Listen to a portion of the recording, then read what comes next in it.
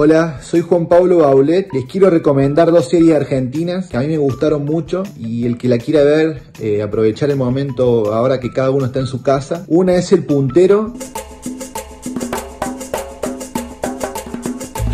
que se trata de la realidad de algunos sectores y algunos barrios de, de, Argentina, que tiene un personaje que se llama Lombardo, que es el mismo actor que hace como Palermo en La Casa de Papel tiene momentos muy graciosos y muy divertidos. ¿Vos? Pasa que me bardeás tanto, guacha. ¿Qué onda? ¿Qué onda? Nada, no pasa nada. ¿No pasa nada?